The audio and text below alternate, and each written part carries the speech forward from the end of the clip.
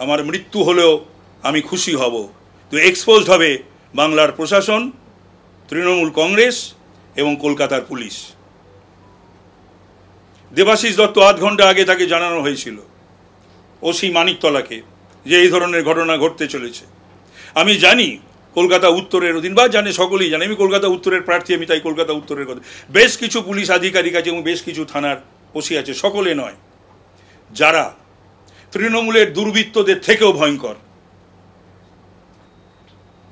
আমি তাদের সতর্ক করে দিচ্ছি। বিবেক সায় দেয় না, এমন কোনো কাজ করবেন না। বাড়িতে ফিরে গিয়ে নিশ্চয়ই তো মা, বাবা, স্ত্রী, ছেলেমেয়ের সম্মুখীন হতে হয়। তারা আপনাদের এই কাজকর্ম। কালকে যেটা করল মানিকতলা পুলিশ বা মানিকতলার ওসি, আমি তাকে ধিক্কার জানাই। আমি চেষ্টা করেছি। আমি সমস্ত জায়গায় ইসি থেকে শুরু করে সিইও সিপি ডিসি ডিসির সঙ্গে আমার কথা হয়েছে সিপিকে আমি দুবার ফোন করেছি। পাইনি। চেষ্টা করব দেখা করার। হার্ড কপিও যাবে, সফট কপি গেছে সকলের কাছে, হার্ড কপি যাবে।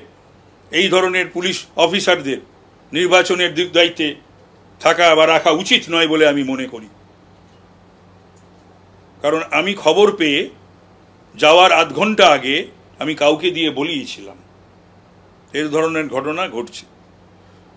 তো সুতরাং এটা মাথায় রাখতে হবে যে অশান্তি করে কিন্তু কোনো লাভ হবে না।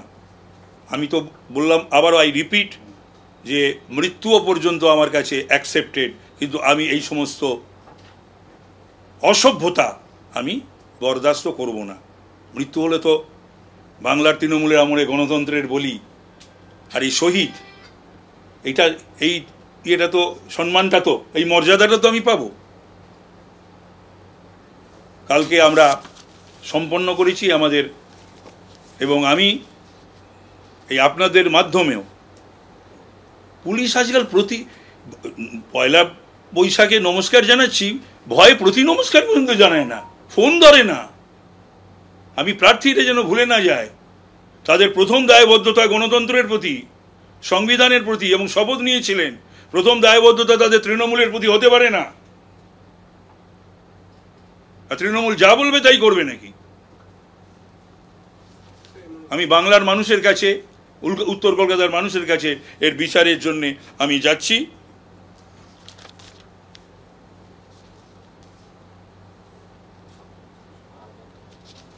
এবং যা যা করার আমি করেছি, যা যা করারও আমি করব।